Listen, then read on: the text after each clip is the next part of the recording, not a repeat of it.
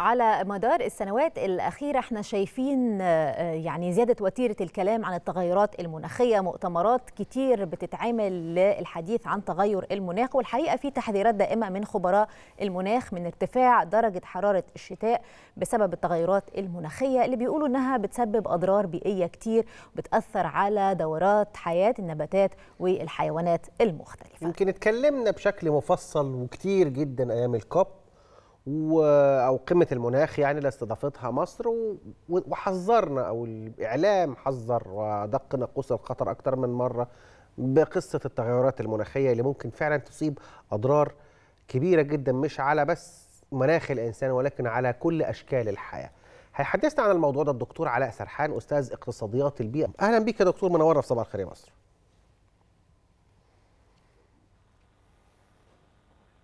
دكتور علاء أهلا بحضرتك مرة تانية. أهلا وسهلا يا فندم بحضرتك وبالسادة المشاهدين يا فندم.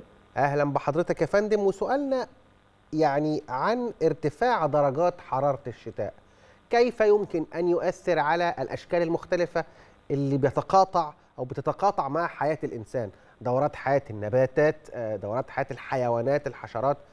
تأثيره المدى قد إيه يا فندم؟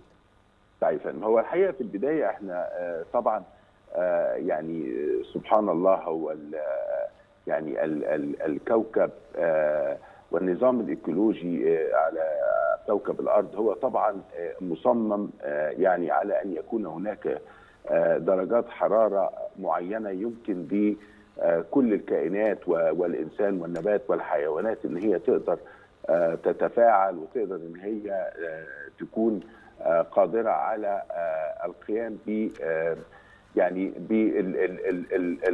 ما تقوم به من منافع إيكولوجية ومن آه يعني آه ما خلقت من أجله آه بسبب درجات الحرارة اللي موجودة. فيعني زي ما حضرتك بتقول كده إحنا بنقولها كده يمكن باللغة الدارجة الترموستات البشري والترموستات لجميع الكائنات هي في درجة حرارة معينة متوسطة بيقدر هذه الكائنات إن هي تتعامل وتتفاعل مع النظام الإيكولوجي اللي حولها من خلال. لما بيحصل حضرتك أي نوع من أنواع التغيرات في هذه درجات الحرارة بتعمل الكثير من الاضطرابات. الاضطرابات على مستوى الأداء على مستوى التفاعل مع الكائنات الأخرى. الكثير من الكائنات اللي موجودة سواء نباتية أو حيوانية فهي قد تفقد قدرتها على إن هي تتوالد وتتكاثر بل على العكس ممكن إنها تمرض وممكن إنها يعني تموت. وهناك كائنات أخرى قد تظهر. طبعا إحنا بنتكلم على الأخطر اللي هي طبعا الافات الزراعية وبنتكلم على الأمراض التي قد تصيب الإنسان وتصيب النبات والحيوان إن هي بسبب ارتفاع درجات الحرارة أو انخفاض درجات الحرارة إن هي بتقدر تظهر مرة أخرى ما كانتش موجودة قبل كده وابتدت تظهر وابتدت تعيش. ودي بتسبب لنا طبعا مشاكل سواء على مستوى الإنسان لأن ابتدينا حضرتك يجي لنا أمراض جديدة ما كناش إن إحنا عارفينها. وأيضا بالنسبة للنباتات فالنباتات ابتدت تجي لها برضو أيضا فيروسات جديدة وابتدينا ان إحنا نشوف أن هناك الكثير من يعني المشكلات التي تحدث بسبب ما يعني ما وجدناه من اختلاف في درجات الحرارة. المتوسطة على سطح هذا الكوكب. نعم، طيب يا دكتور يعني إحنا بنشوف ارتفاع درجات الحرارة في الشتاء وكمان في الصيف وده بيسبب يمكن حرائق كتير في الغابات سواء ده كان في الصيف أو في الشتاء، لكن هو إيه الأكثر تاثيرا على البيئة فكرة ارتفاع درجات الحرارة في الشتاء أم في الصيف ولا الموضوع كل متكامل بيأثر بشكل عام على الحياة البيئية؟ طيب هو في الحقيقة. نبتدي أول ناخد الموضوع من قضية الاحتباس الحراري، الاحتباس الحراري معناها إن بسبب وجود بعض الغازات داخل اللي هي بنسميها غازات الاحتباس الحراري زي الكربون والميثين إلى آخره.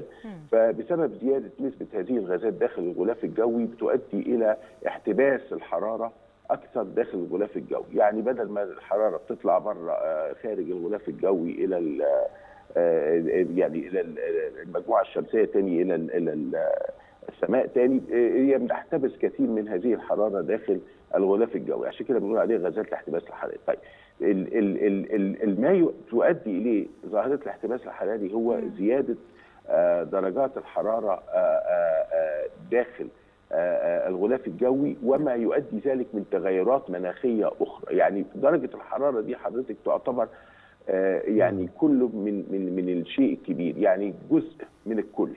يعني التغيرات المناخية هي ظاهرة أكبر وأشمل وأعم من مجرد ارتفاع درجات الحرارة. ليه؟ لأن ما يصاحب ظاهرة التغيرات المناخية هي إيه؟ إن هناك تغيرات قصوى في درجات الحرارة ما بين صيف شديد الحرارة إلى شتاء قارس البرودة إلى امطار بتنزل بدل ما الامطار كانت تنزل متوسطة من الممكن أن تكون هناك امطار كثيرة جدا وسيول عارمة. درجات الحرارة ممكن تبقى عالية جدا في فصل الصيف. صحيح. ممكن إنها تصل إلى الجفاف. وتصل إلى درجات مرتفعة جدا يمكن يمكن ده اللي. برضه بيخلينا نسأل ويمكن ده سؤال فقرتنا يا دكتور يعني تأثيره يعني على سبيل المثال لو اتكلمت عن دورة حياة النباتات عارفين إن البن مثلا بيطلع في اليمن أو إثيوبيا المانجا أفضل حاجة بتطلع في مصر تغيير درجات الحرارة والتغيرات المناخية هل ممكن يعني يعمل بعض التبديلات والتحويلات في خريطة الزراعة أيضا أيوه خريطة الزراعة حضرتك بتتغير بسبب والدورات الزراعية بتتغير بسبب التغيرات المناخية. عشان كده حضرتك إحنا بنقول إن في ظل وجود مثل هذه التغيرات المناخية والتغيرات القصوى في درجات الحرارة والرطوبة ونسبة الأمطار والجفاف إلى آخره أيوة. الدورات الزراعية هتتغير ولابد إن إحنا نقوم ما يعرف باستراتيجيات التكيف.